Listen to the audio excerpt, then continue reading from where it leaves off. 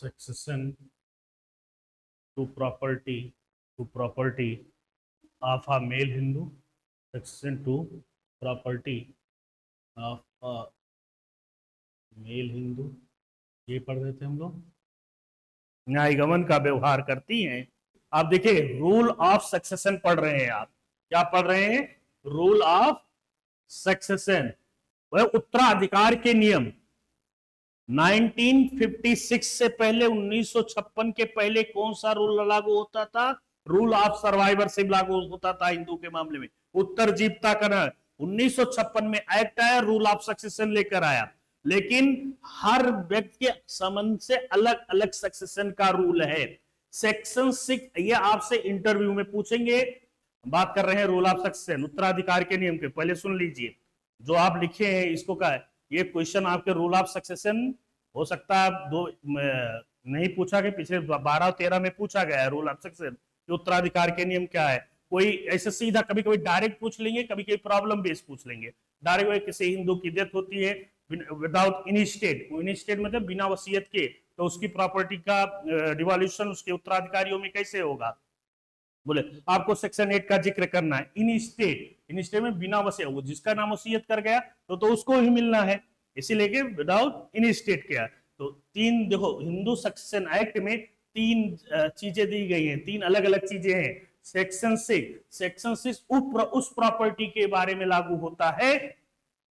उस प्रॉपर्टी में, coparcenary property में। सेक्शन सिक्स क्या लागू? सेक्शन सिक्स भी एक प्रकार का सक्सेशन का, कुपासनरी प्रॉपर्टी का सक्सेशन कैसे होगा? तो रूल ऑफ़ सक्सेशन है तो जैसा बताया गया, एक फिफ्टीन महिला के मामले, महिला तो सेक्शन सिक्स कुपासनरी प्रॉपर्टी के विषय में लागू होता है। सेक्शन एट से लेकर थर्टीन तक दिया गया है मेल के विषय में दिया गया है, किसी हिंदू पुरुष की डेथ होती है। और सेक्शन फिफ्टीन एंड सिक्सटीन महिला इसके विषय में दिया गया है?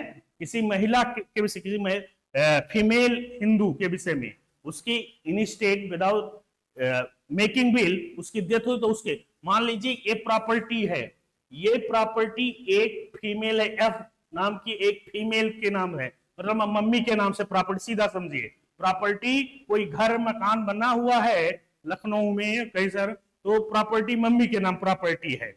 या कोई बैंक अकाउंट बैंक बैलेंस अगर नॉमिनी नहीं बना दिए गए हैं, ना? तो प्रॉपर्टी उनके कैसे डिवाइड होगी? ना? बैंक बैलेंस पैसा कैसे मिलेगा? कोई सोना चांदी है रखे मम्मी का गहने हैं? तो उसका कैसे उसका बटेगा उनके उत्तराधिकारियों में? तो अब फीमेल का उसका रूल पंद्रह और सोलह बता रहा है।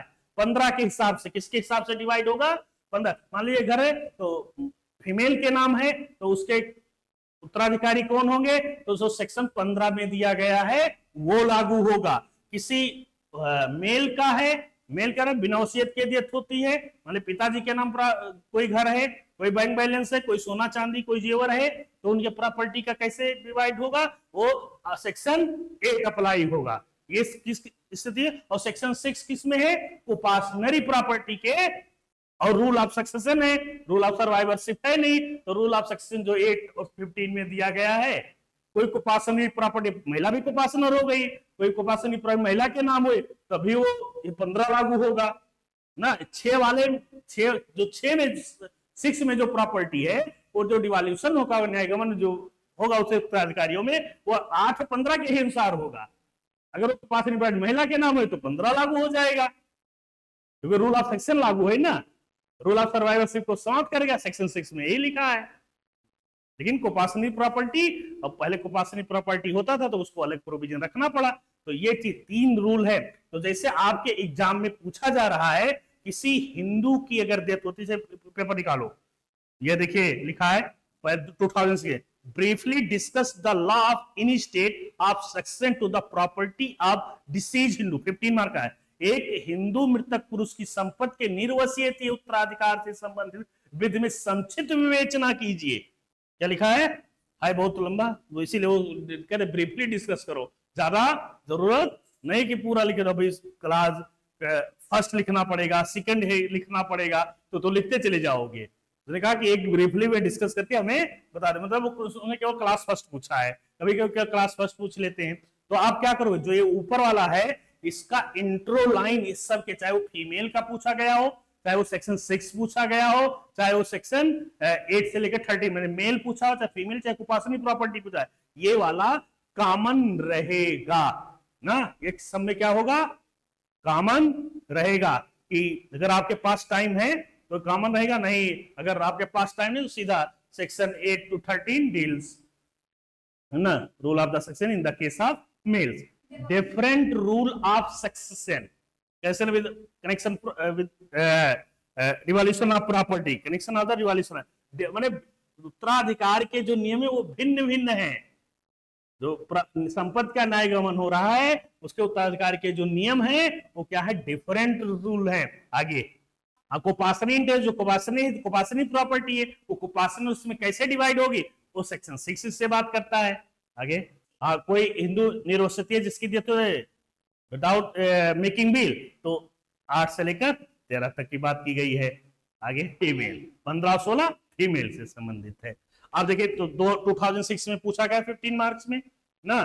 फिर discuss the various ground petition divorce natural guardian फिर fundamental change of eighteen marriage of broads X one daughter ground eight daughter है left house without the permission दबी और एडॉप्शन इंडरकोम और देखिए, Hindu entitle share the partition give the adoption degree of तो heading डालिए succession to property of male पुरुषों की संपत्ति का उत्तराधिकार। पुरुषों के संपत्ति का उत्तराधिकार। Section two property of male लिखिए।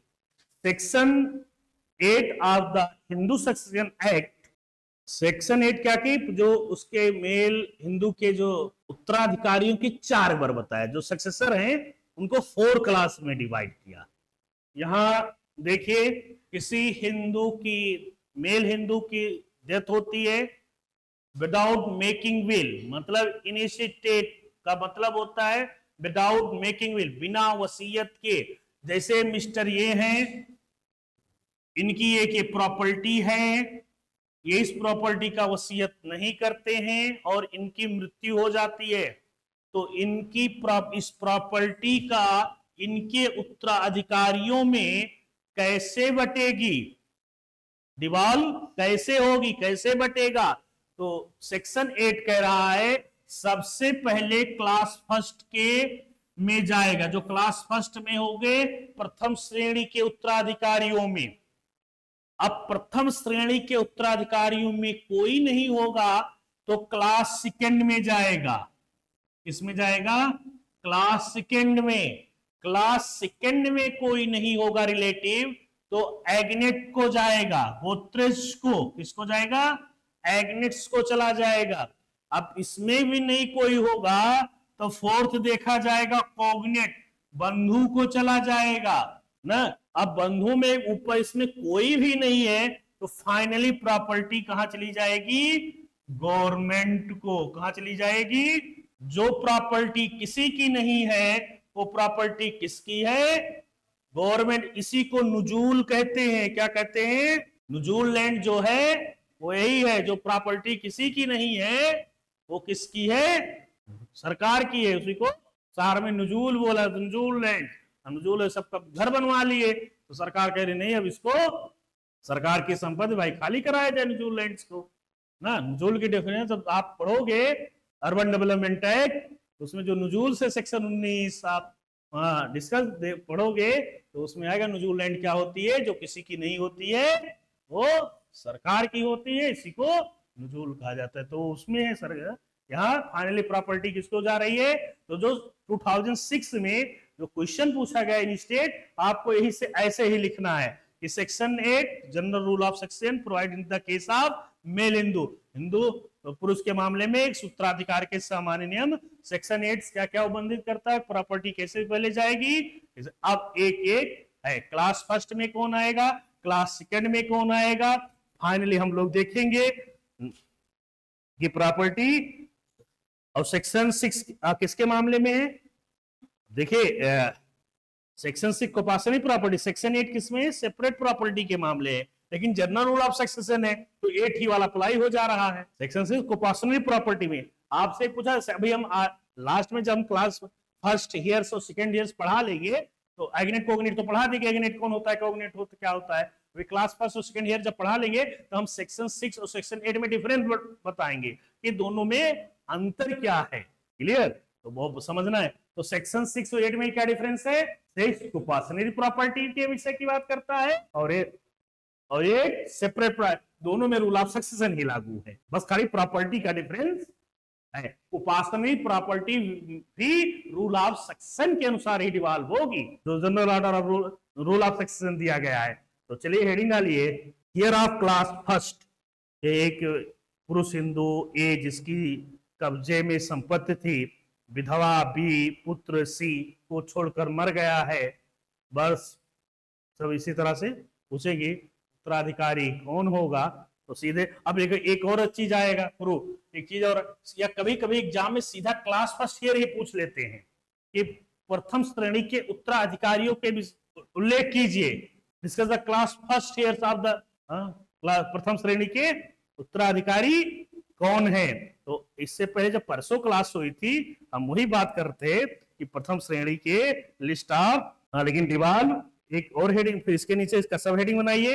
List of year specified in class first class first years प्रथम श्रेणी के उत्तराधिकारियों की जो लिस्ट है, वो क्रम आर्डर क्या होगा?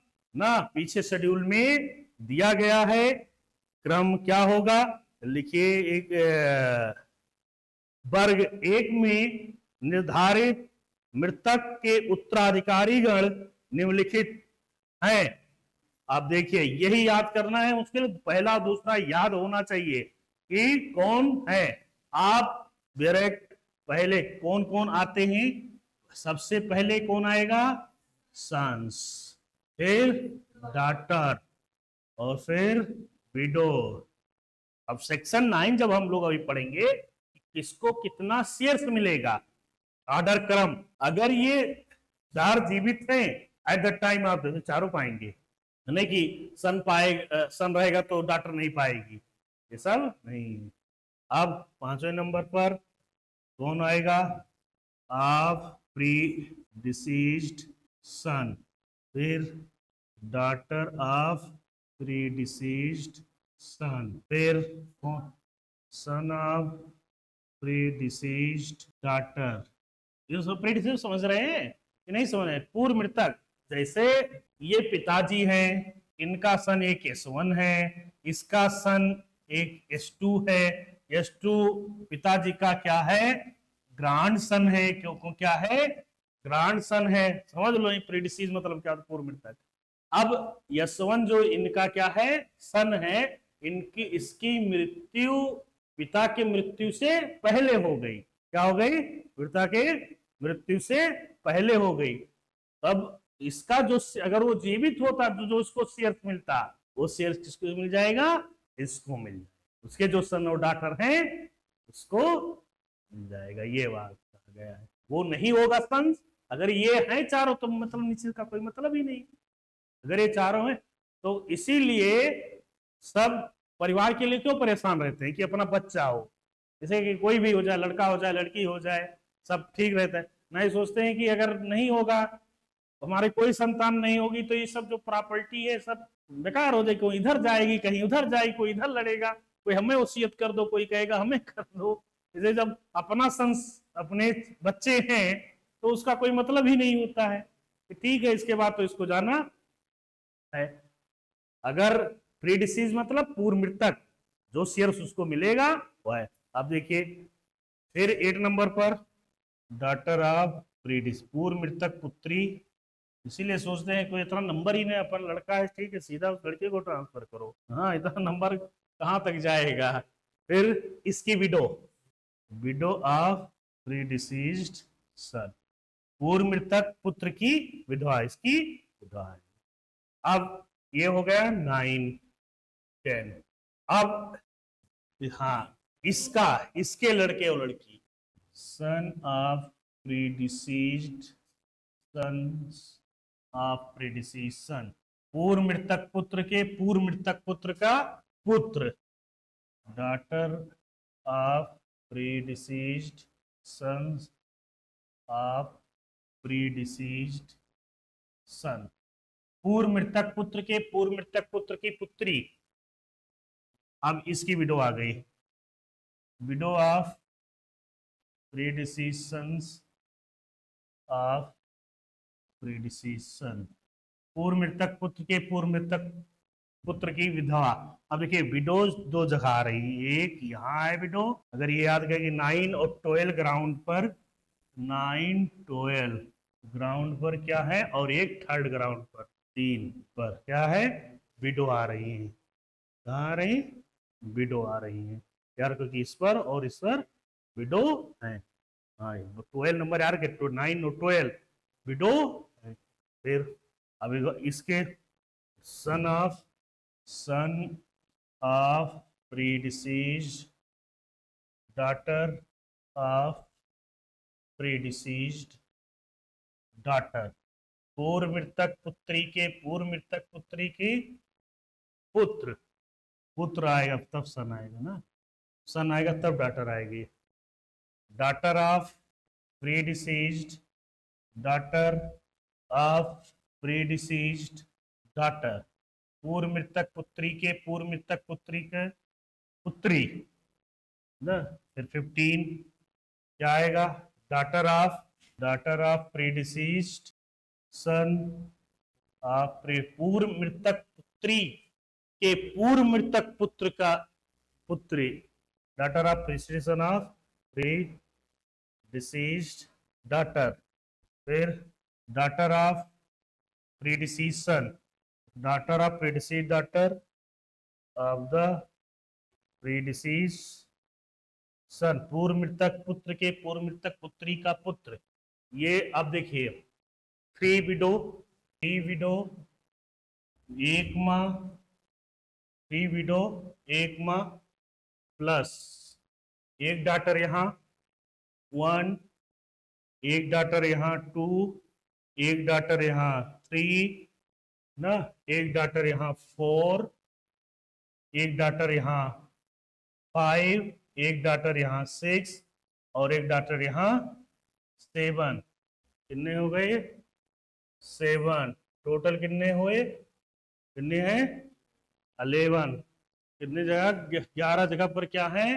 फीमेल हैं। तो नीचे जब आप लिखोगे अभी तो ये भी लिख लेना। सेवन ये सेवन डाटर कर दो। Seven daughter.